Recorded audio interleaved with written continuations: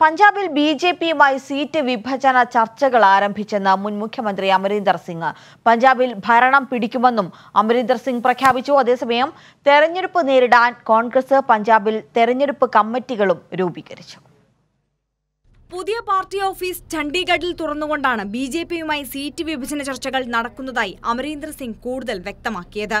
അഞ്ച് പതിറ്റാണ്ട് നീണ്ട പാർട്ടി ബന്ധം വിച്ഛേദിച്ചു പുറത്തുപോയ ക്യാപ്റ്റൻ ബി ജെ പിയോട് അടുക്കുമ്പോൾ നെഞ്ചിടിപ്പേറുന്നത് കോൺഗ്രസിനാണ്.